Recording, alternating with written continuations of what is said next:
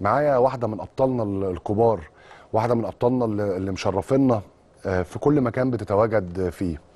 آه، دايما في في في في في, في السباقات بتاعت بطولة العالم بتحصل على ميداليات حصلت على آه، الذهبية في الناشئين واثنين برونزية في في في, في, بطولة العالم للكبار. لكن ال- الأولمبيك جيمز بتبقى مختلفة بعض الشيء بسبب بعض الحاجات اللي إحنا هنعرفها منها. هتبقى معايا ضيفتي دلوقتي عبر زوم بطلة مصر في السباحة البطلة آه، فريدة عثمان الحقيقة السي في بتاعها والكارير بتاعها وأرقامها أرقام آه، مشرفة. آه، بطولة العالم للشباب آه، 2011 ذهبية 50 متر آه، فراشة. آه، أول ميدالية ذهبية مصرية في تاريخ بطولات العالم للسباحة لجميع الأعمار. بطولة العالم 2017 للكبار برونزية 50 متر آه، فراشة. وهي أول ميدالية مصرية في تاريخ بطولات العالم للسباحة لل- لل- للكبار. الحقيقة بطلة مختلفة. يعني يعني قدرت إن هي تخش بالسباحة المصرية في حتة آه، مختلفة. آه، بطولة العالم في 2017 2019 برونزيه 50 متر فراشة. ودورة ألعاب البحر المتوسط 2018 اثنين ذهب واثنين فضة. أفضل رياضية أفريقية في 2017 وسبحت العام في أفريقيا أربع مرات. غير ميداليات كتير عربية وأفريقية. فريده عثمان واحدة من النقاط المضيئة آه، في آه، الرياضة المصرية بشكل آه، بشكل عام. وطبعا أنتوا عارفين الألعاب دي مظلومة اعلاميا ودايما التركيز بيبقى على الكورة على الكورة بس. ودي حاجات لازم تتغير عندنا في الإعلام الرياضي المصري.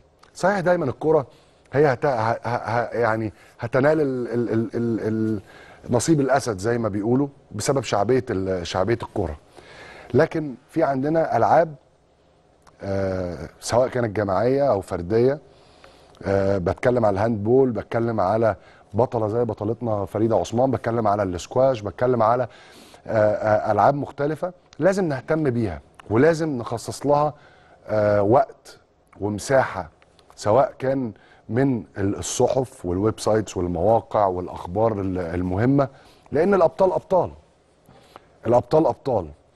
آه ولما تكون لما يكون أبطال بيلعبوا باسم مصر آه وحتى وهم مظلومين اعلاميا عندهم إصرار كبير جدا للنجاح مرة واثنين وثلاثة فلازم آه نرفع لهم القبعة ولازم نديهم وقتنا.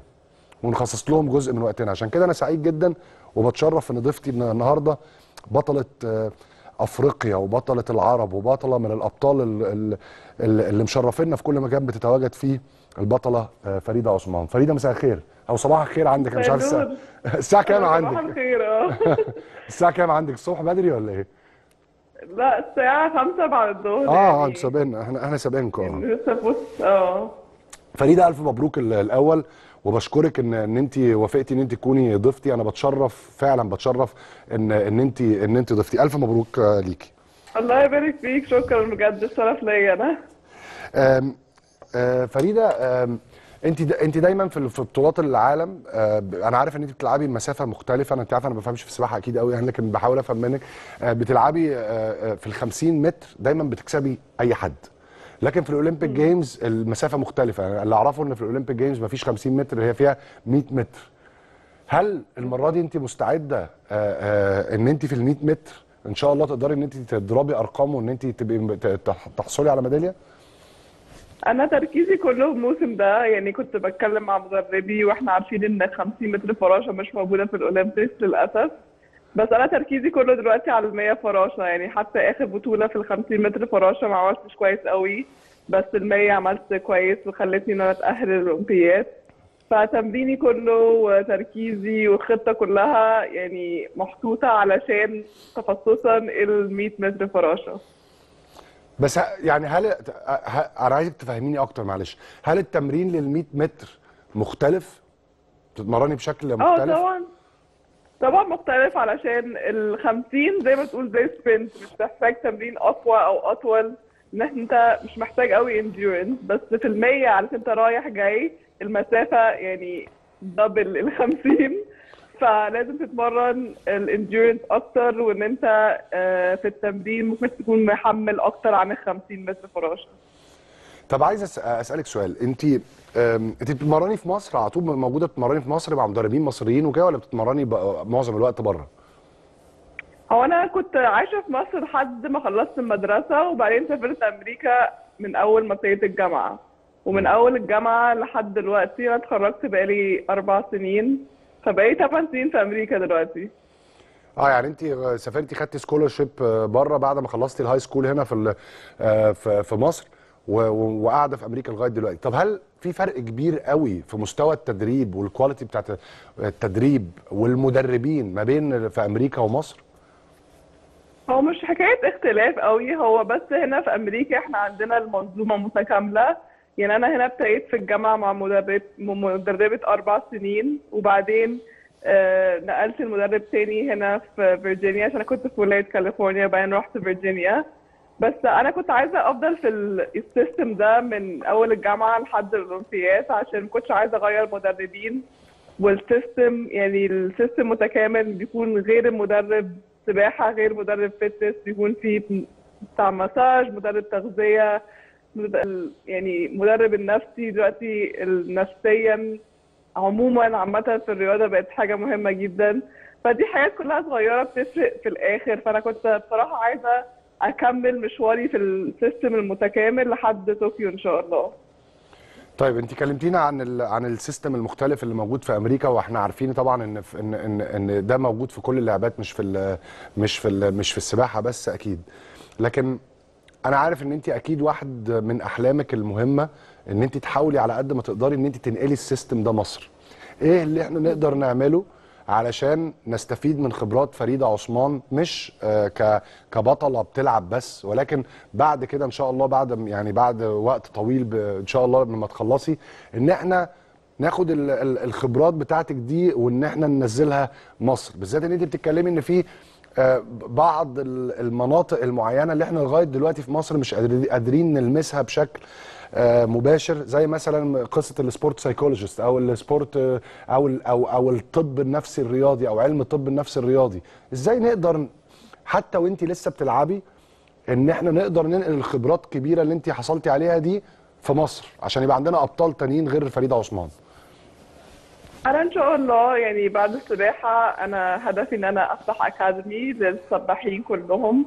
يعني أنا شايفة إن أنا اتعلمت حاجات كتير قوي في مشواري من وأنا صغيرة لحد دلوقتي. وأنا بصراحة يعني عايزة أساعد يعني بطريقة اللي هو كل حاجة أنا اتعلمتها على كبر أعلمها للسباحين بنات وولاد من السن الصغير. أنا شايفة يعني لو إحنا اد- اديناهم التولز المهمة من هم صغيرين. أنا شايفة إن ده هيعمل فرق كبير وهنلاقي سباحين بيوصلوا للمستوى العالمي من أفضل من السن الأصغر. آه، أنا شايفة كمان حاجة مهمة جدا. البطولات عامة البطولات لازم ننزل يعني كتير. ممكن ننزل واحدة مرة في الشهر عشان كل ما تنزل بطولات أكتر كل ما يكون في احتكاك كل ما يكون مثلا الخوف اللي قبل السبق ده يروح علشان انت خلاص متعود على السبق كل شهر متعود على انت آه، تعوم إزاي آه، ال stroke ال technique كل حاجة كل الحاجات دي انت تتمرن عليها فكل ما تنزل بطولات كل ما تتحسن فيها. فأنا على قد ما أقدر إن أنا يعني خبرتي وكل حاجة أنا اتعلمتها في مشواري إن أنا أديها في الأكاديمي دي أو أعمل مثلا زي talks إن أنا يعني أش يعني أشارك كل حاجة اتعلمتها للناس الصغيرة. طب وانت لسه بتلعبي يا فريدة؟ هل مثلا تنصحي ال- ال- ال- المدربين اللي هم ال- الشباب اللي هم دلوقتي آه، بيحلموا إن هم يبقوا مدربين أو لسه مدربين صغ- صغيرين هل مثلا في online courses أو حاجة كورسز ممكن إن هم يخشوا عليها ويتعلموا آه، إزاي إن هم يطوروا نفسهم في ناحية التدريب؟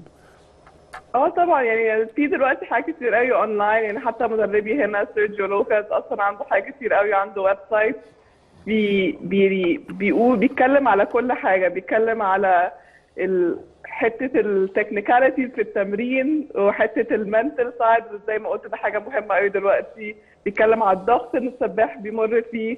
فبيتكلم على حاجات كتير قوي أنا شايفة إنها بتساعد التطور للمدربين بالذات دلوقتي في السن اللي إحنا فيه ده. يعني في حاجات كتير قوي صغيرة بتأثر على النتيجة في الآخر في السبق. فريدة هل تأجيل الأولمبيك جيمز هل تأجيل البطولة لمدة سنة كان كان حاجة إيجابية ليكي ولا ولا سلبية؟ هو طبعا في الأول دي كانت حاجة صعبة قوي عشان كنت حاسة بمجهودي زي تحس إن أنت ضحيت وتعبت وسافرت واتمرنت وفي الآخر الأولمبياد تأجلت سنة. هو طبعا في الأول دي كانت حاجة صعبة قوي حتى نفسيا عليا بس يعني قعدت أفكر وأقول طبعا صحتنا دي أهم حاجة دلوقتي وإن السنة الزيادة دي هتقويني في المية هتخليني أسرح هتخليني أتعلم حاجات كتير جديدة أنا ما كنتش عارفاها. فالوقت الأطول فكرت فيها بطريقة إيجابية إنها ممكن تخليني أقوى في المية. هل هل استعنتي بال بال بال بال بالطبيب النفسي بتاعك اللي أنت شغالة معاه آه، وقت قرار آه، تأجيل ال- الأولمبياد؟